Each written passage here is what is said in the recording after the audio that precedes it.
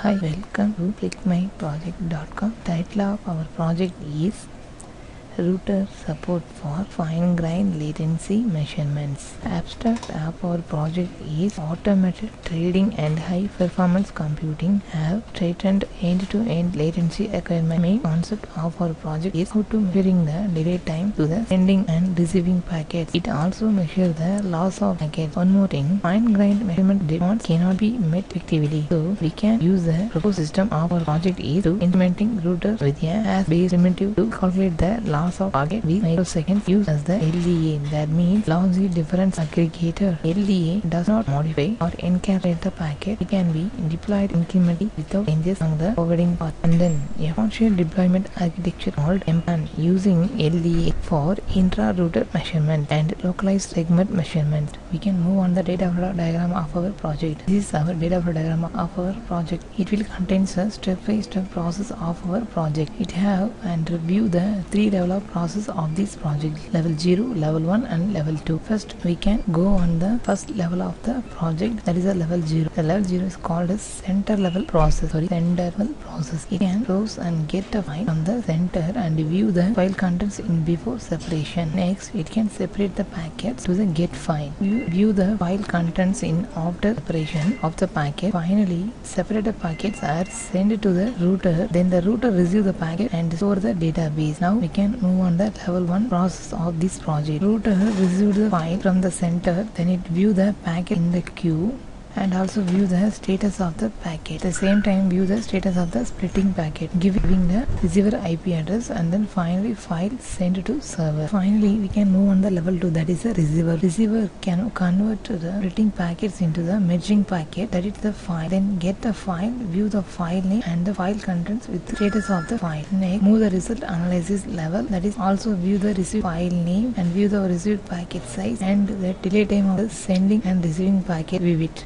Delay time is calculated as the packets per second. Finally, the receiver level view the last packet and then delay time to the shot.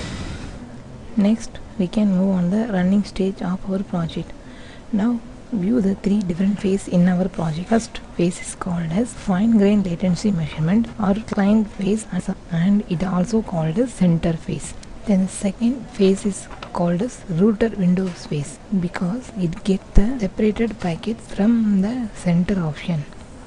Next we can see the third phase is the receiver window or server phase.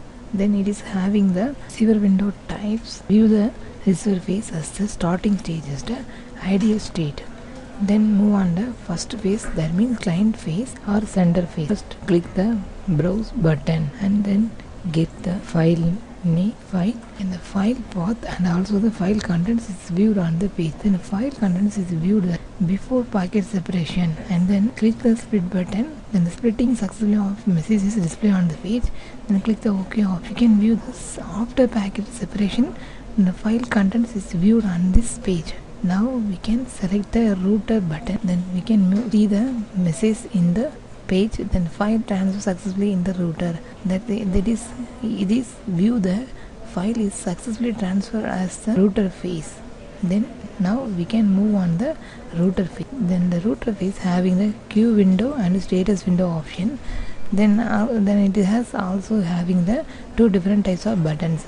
First button view the queue window of separated packets name file name packet names and also click the another view button that is viewed as the status window of the, of the packet. That is number of packets is routed that is well used to.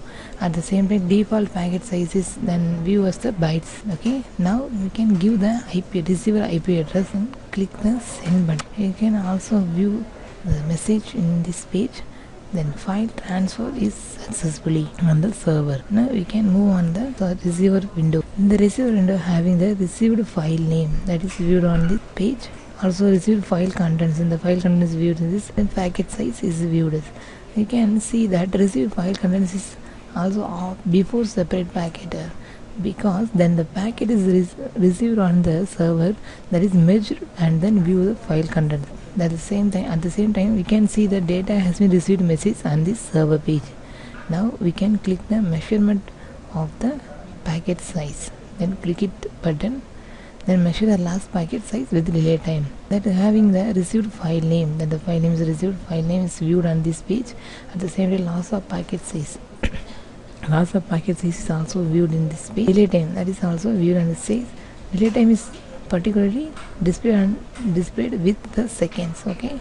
Next we can click the chart button that is viewed to the different types last packet and at the same time the delay time of this packet. Already we can see the branch demo but now we see about the how how to the different types of files having the different types of of packet and delay time. So get the file first then open it and splitting the file and send the router option.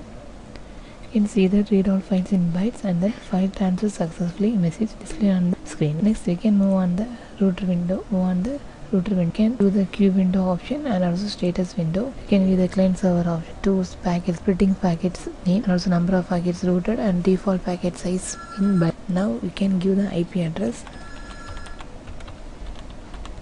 Then click then the read all file read IP server IP write file into the folder. This file transfer successfully message display at the, at the same time packets and accessibility message also displayed. Now we can move on the receiver window. You can see the receiver file name and receiver file contents and packet size so first we can view the data has been received message on this page. Now measurement of the page. Received file name loss of packet size and delay time. Then click the chart option. We can see the difference between the first file having 22 and second file having 27 delay time. Thank you